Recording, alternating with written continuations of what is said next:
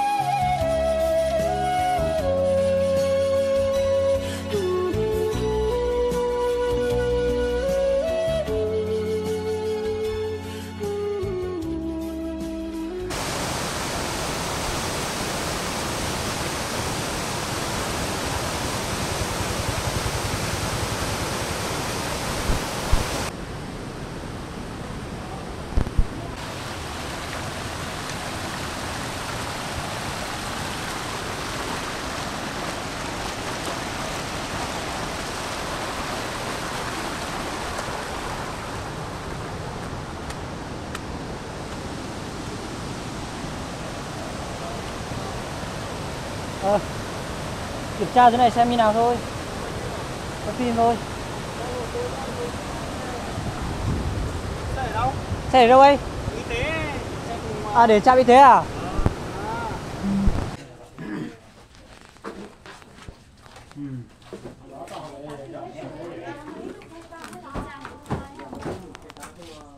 Muốn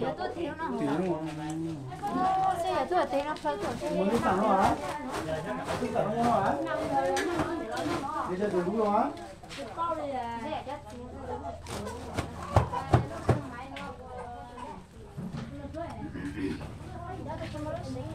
tụi mình nhiều chỉ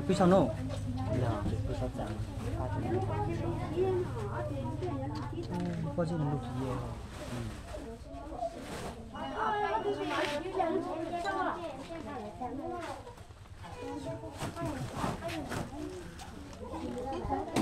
nô có gì là lục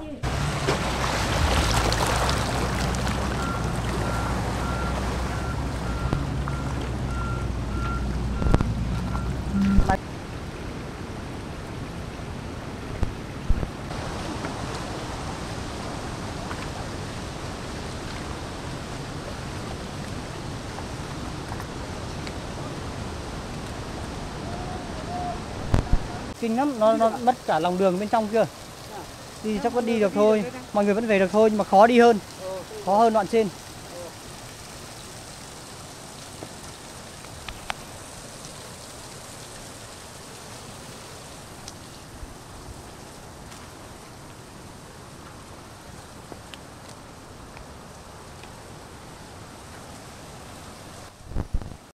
từ mường kia về là như này hết rồi Cô nào mới đi nữa rồi? có lũ tỏ tụi mông lũ đó Cô tụi mong rồi. ừ Ờ. Ờ. Ý mình được tụi mong rồi. Hả? Mình được tụi mong rồi.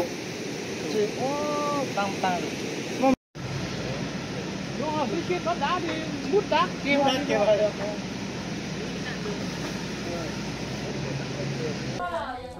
giờ này ở tụi mình nhiều này ít tụi không cháy tụi chả nó ít tụi là sao không?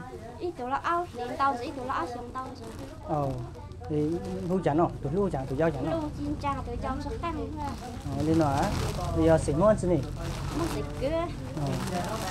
Còn nhiều lắm. Ráng từ nếp nó nhờ Bây giờ bây giờ Thì này, qua trạm điện đây một tí thì nó lại nó lại sạt. Thế không đi được xong là tôi mới quay lên ở chỗ trạm y tế xong rồi nhờ anh em người quen đấy em ờ, nấu cơm cho ăn này. Chưa kịp ăn cơm nhưng mà nước ở đâu nó về nó đổ ui rồi ĩ. nói chung là như kiểu vỡ đập thủy điện. Thế lúc đấy là khoảng mấy giờ? Lúc ấy khoảng 7 giờ 8 giờ kém. 8 giờ kém nhỉ? Xong là mới hô hào cả cái khu đấy xong là mới chạy Chạy. chạy lên đồi mà lúc ấy đèn pin không có áo mưa không có mà mưa nó rất là to nhá. Xong rồi ôi rồi mà hai bên nó nó sạt rồi, đá nó rơi xuống nghe sợ. Xong cứ chạy lên rồi ấy không biết sống chết kiểu gì mà cứ chạy lên đồi thôi. Thì nếu mà ở dưới thì nước nó cuốn đi ngay. Thế là chạy anh em bỏ chạy hết lên đồi.